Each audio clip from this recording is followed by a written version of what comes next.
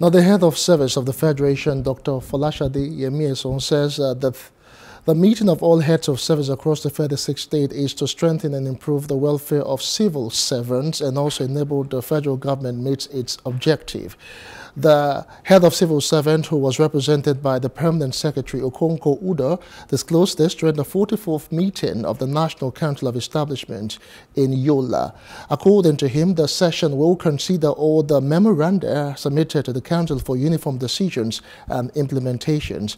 On the part of the host, the head of service at Adamawa State, Edgar Amos, welcomed the delegates to the state and assured them of all the necessary support the federal government is here to determine the establishment and related matters of common interest. It is an all-inclusive approach to dealing with establishment matters because we want to ensure uniformity. The state cannot go its own way while federal is going its own way.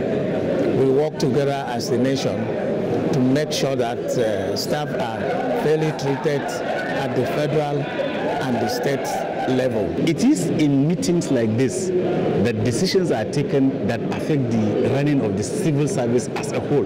For example, what how do you enter the civil service? If you're an accountant, a doctor, an engineer, a lawyer, what is the qualification of entry into the civil service? It is meetings like this that determine it. And at what grade level? If you're employing a fresh medical doctor or a fresh engineer, at what grade level should he be? What will be the salary grade level? And how does he progress? What are the determining factors? How many years does he spend on a particular grade level before making progress? At what level does he exit? Currently, there are agitations maybe from teachers or doctors and so on, or professors that say, okay, uh, retirement should be 65 years or 70 years and so on. It is in meetings like this that such decisions are taken. Hello. Hope you enjoyed the news. Please do subscribe to our YouTube channel and don't forget to hit the notification button so you get notified about fresh news updates.